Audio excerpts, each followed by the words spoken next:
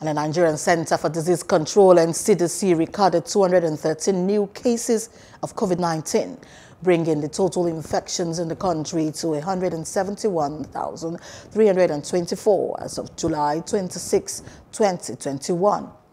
The NCDC on Tuesday stated that it recorded two COVID-19 related deaths on Monday, while an additional nine people recovered from the virus as of July 26, 2021. It noted that since the outbreak of the coronavirus disease in the country on February 27, 2020, a total of 2,134 persons lost their lives, while 164,798 recovered from the virus and discharged from health centers across the country.